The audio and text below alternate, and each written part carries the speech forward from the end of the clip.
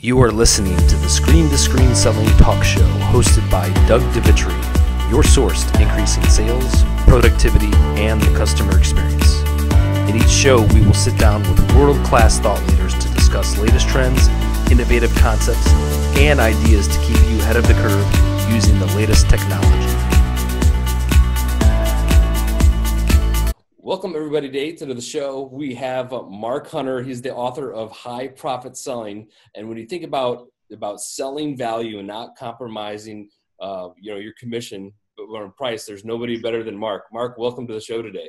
Thank you for having me on. Looking forward to it.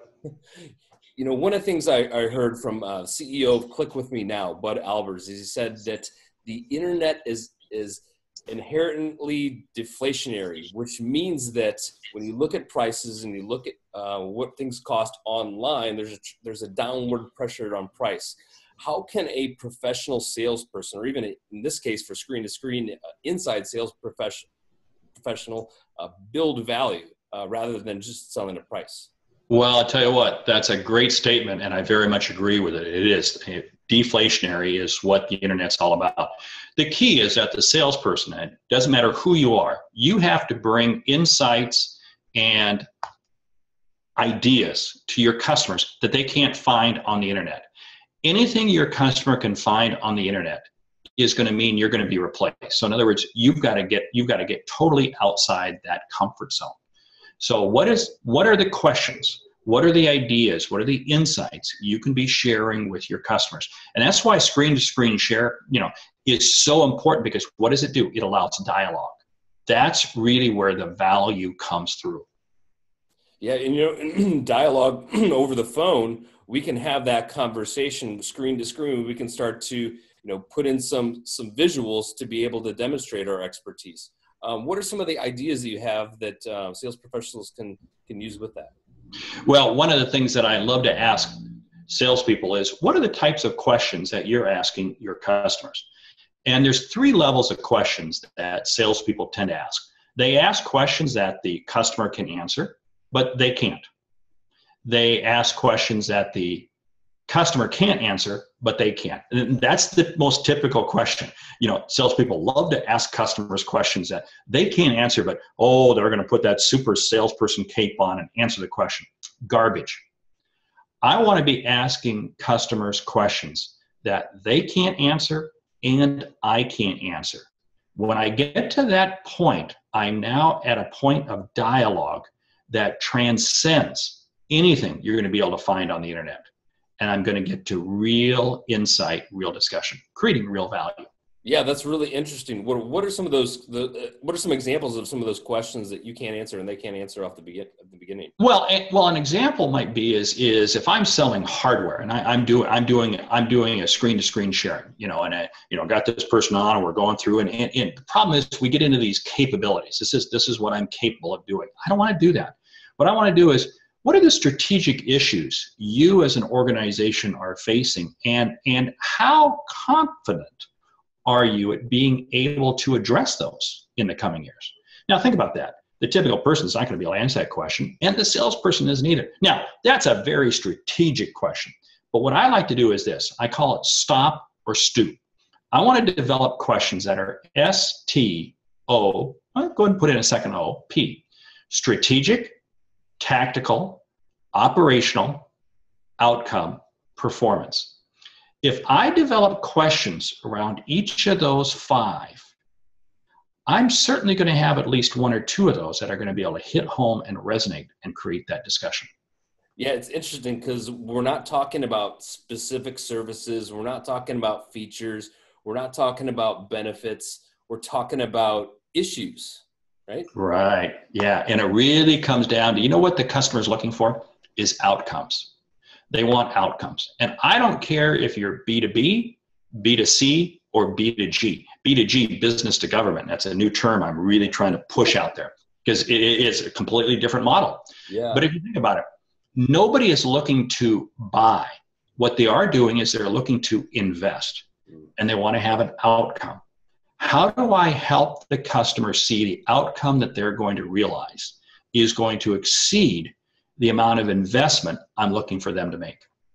Yeah, and I think when when inside sales professionals think of being able to sell, they're going to deliver it in a webinar webinar format where you know we have 60 slides and in 60 minutes. it's like it's like how do you discuss issues when you have all of these prepared slides? That, that, that's right. I mean, you know, you know, the sad comment there is the person who's doing that has done nothing more than move the capabilities presentation, which used to be the 30-page brochure that you'd walk them through sitting across their desk, and moved it to an online function.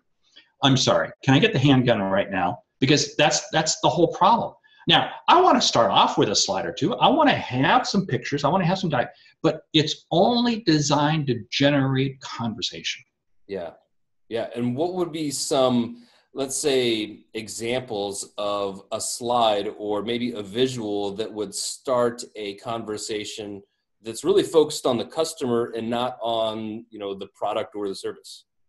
Well yeah what we want to look to is and i hate to use this example but it, it works it works well. Pain or gain? You know is the customer feeling pain or is the customer looking for gain?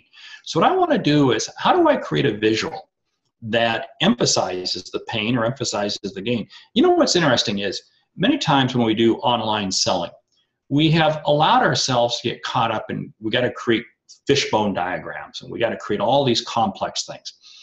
And sometimes I forget one of the really cool tools that we can. We can just simply put up a visual picture. Put up a visual picture with a question off on the side you know think about that. It's the same thing that you or i do when we're speaking in front of an audience. You know we, we both do a lot of speaking in front in front of live audiences and we'll just put up there'll just be a picture. They'll or there'll be a picture with maybe a question. We can do those same techniques when we're doing online selling. And i think it generates that level of discussion because here's the whole thing. It's not the question i ask or the comment i make that is what we're looking for. No, I'm looking for the customer to respond and then me to drill down a couple more times. You know, I kind of use the example the customer is a little bit like an onion, and I got to peel back layers. And I, boy, this is especially true if you think about it in B to C selling. Yeah. You know, you might be in real estate or something like that, and person says, "Oh, they they like this home or they like this," That's garbage. Why do they like that home? What are the real specifics? Somebody might be selling insurance. Same thing. Well, I'm, I want to take care of my kids after I'm garbage. What are the real specifics? In B2B, you know, it, you, you really start to peel the onion. Now it's really creepy if you're looking at, at your customer as if they're an onion. That's a whole different, that's a whole different, I'm not, I'm not even going to go down that road. Well, you know, it brings up brings up a couple of things in my mind when working with a customer who's focused on price and they say they want to know you know how much does this cost? And that, that, that question keeps coming up as you even as you start to try to drill drill down. Uh, how do you overcome that objective with a customer who's specifically focused on price? Well i'll tell you what sometimes the most profitable sales you'll ever make are the ones you don't get. And that's really scary because it's really hard to walk away from business. But i'll tell you what anybody who's looking to maximize price has to be willing to walk away. Because once you start discounting, you will discount everything. It becomes a drug, it becomes very addictive. Now, here's the whole key thing the customer that's focused on price. If they're focused on price, that means they're very feature oriented. And yes, they're an economic buyer. I don't want to deal with an economic buyer, I want to deal with an outcome buyer.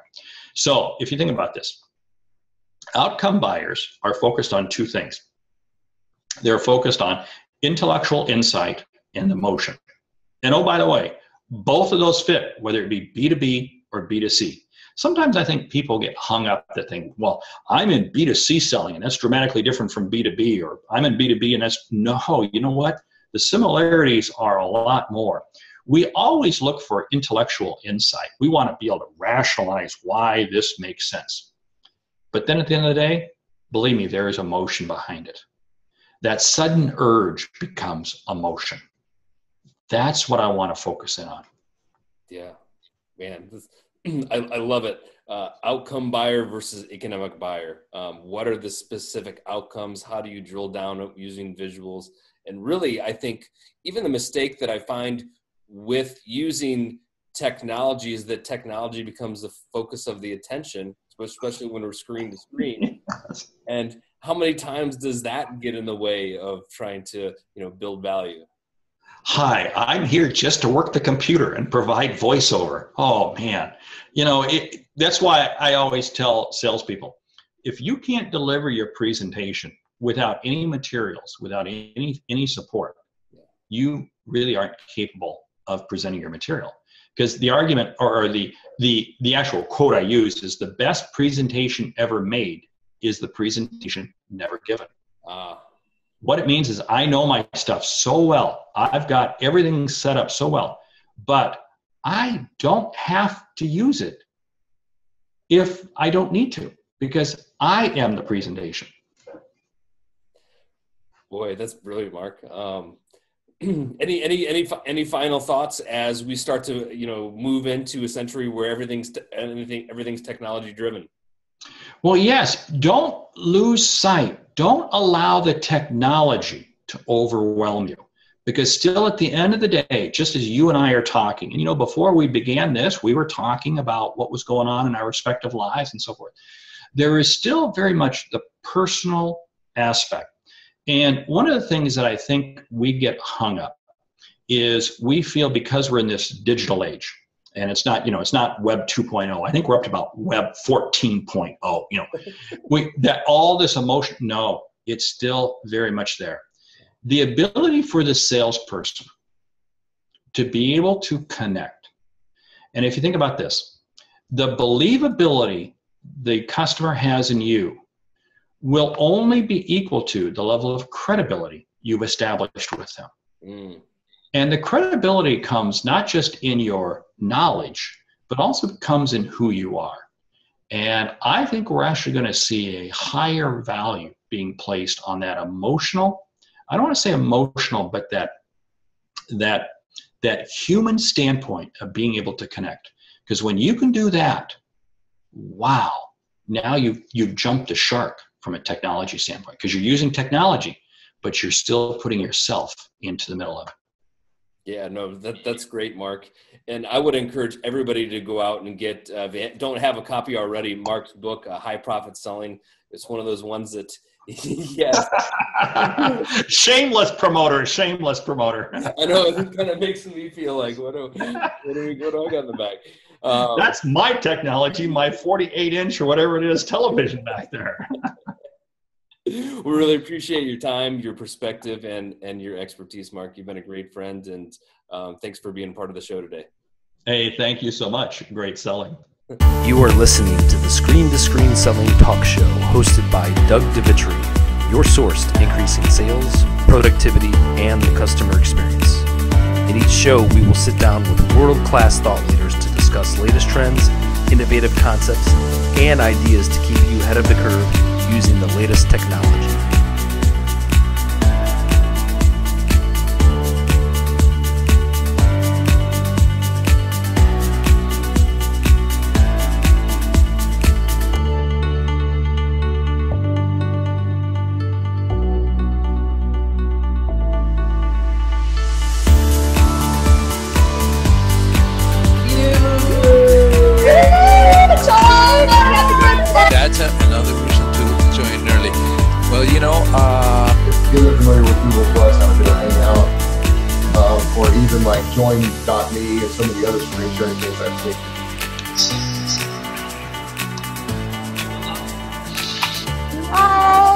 Congratulations!